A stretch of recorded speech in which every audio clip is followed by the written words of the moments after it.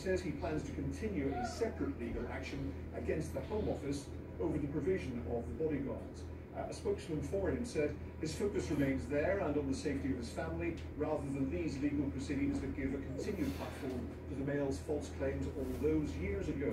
Well, two years to be precise, and he is continuing his hacking claims against the Mail, which date back more than a decade. He was also, remember, partially successful when he sued the Mirror last month. He was awarded damages of over £40,000, but this is a signal that legal action is very expensive, and throwing in the towel today will probably cost him a total of about three quarters of a million pounds.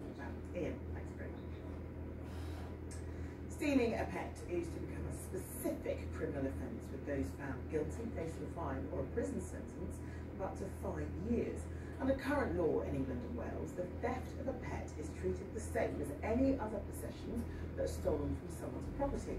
So it's been welcomed by